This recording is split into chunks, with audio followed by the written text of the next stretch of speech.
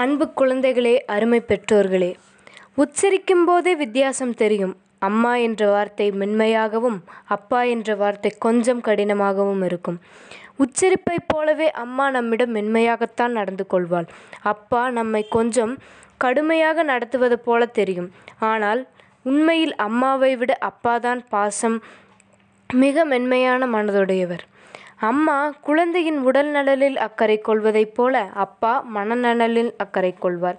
என் பிள்ளைக்கு வலிக்கக்கூடாது என்று அம்மா நினைப்பாள். ஆனால் அப்பாவோ வலியை தாங்கும் தைரியத்தை வளர்ப்பதில் கவனம் செலுத்துவார். குழந்தை குறும்பு செய்யும்போது அம்மா அடிப்பாள். அப்போது கடுமையாக வலிக்கும். எப்போதாவது அப்பா அடிப்பார். அப்போது அடிக்கும் சத்தம்தான் கேட்கும். கொஞ்சம் கூட வலிக்காது. வலிக்காமல் அடிப்பதில் அப்பா அப்பாதான்.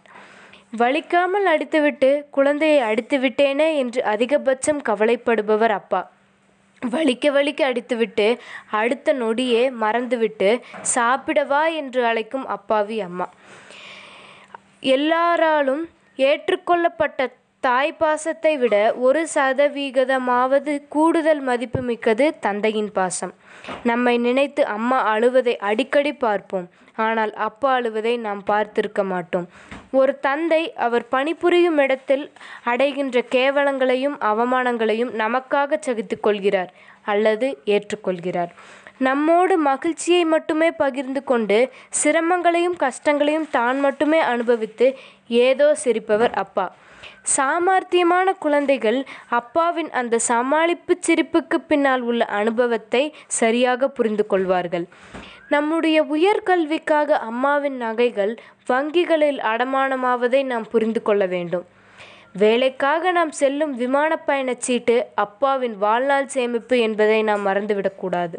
எதிர்காலத்தில் நாம் சிரமப்படக்கூடாது என்பதற்காக நிகழ்காலத்தில் தங்களுடைய மகிழ்ச்சியை தியாகம் செய்து கொண்டிருக்கும் கொண்டிருப்பவர்கள் நமது பெற்றோர்கள். தாங்கள் அனுபவிக்க முடியாமல் போன சந்தோஷங்களை நாம் அனுபவிக்க வேண்டும் என்பதற்காக நம்மிடம் வில்லன் வேஷம் போடும் நமது பெற்றோர்கள் உண்மையிலேயே பாசம் கொண்டவர்கள்தான்.